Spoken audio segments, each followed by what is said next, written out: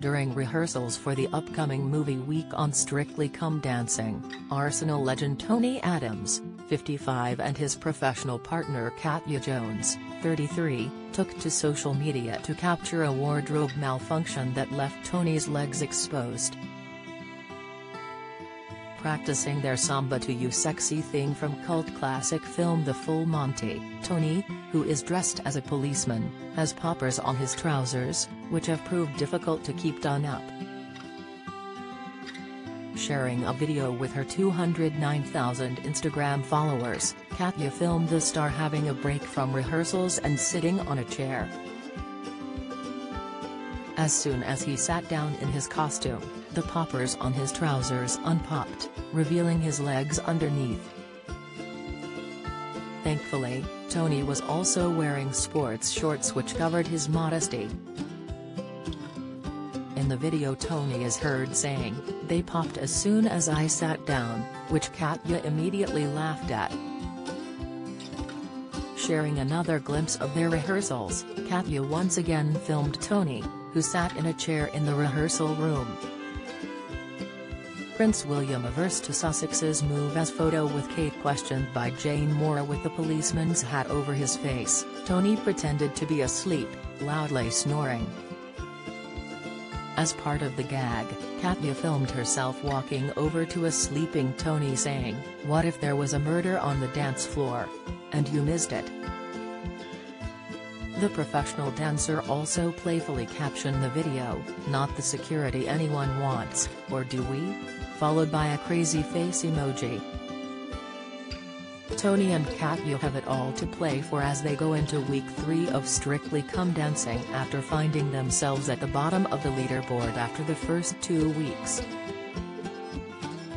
Barbara Windsor's widow shocked over playing the long game accusations after her death, Inside Strictly's Karen Hauer in incredible transformation as she flaunts peachy bum in leotard, latest Britney Spears, 40, worries fans as she poses naked on very public beach amid family rift. Celebrity news, after his comical yet entertaining Charleston to my old man's A Dustman, Tony scored an underwhelming 22 points out of 40, with judges Craig Revel Horwood, Motsi Mabuse, Anton Du Beke and Shirley Ballas scoring 4, 6, 6 and 6 respectively.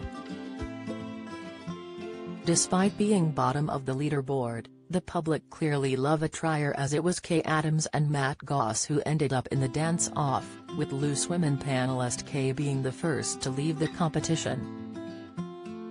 The public's support of Tony is clear to see, after an Instagram post of his gained more than 5,000 likes and tons of comments.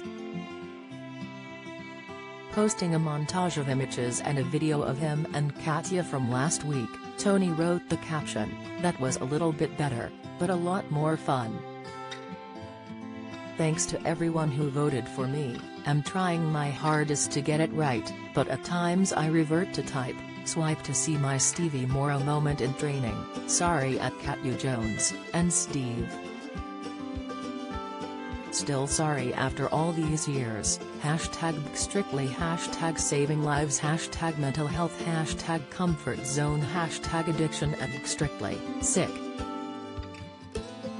With numerous celebrity faces and fans commenting on Tony's post, it is not hard to see why he sailed through to movie week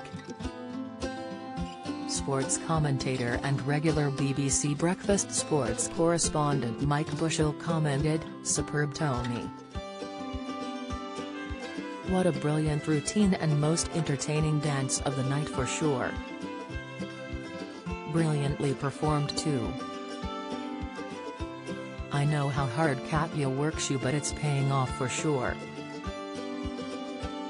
Hoping you stay in for many more weeks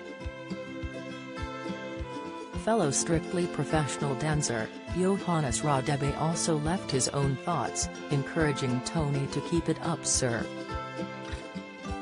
The Great British Bake Off host Matt Lucas also joined in, adding, it was majestic.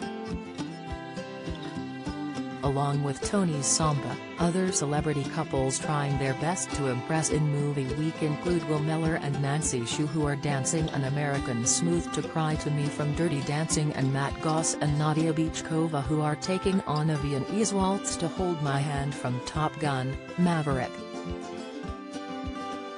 Strictly Come Dancing continues tomorrow at 6.30 p.m. on BBC One.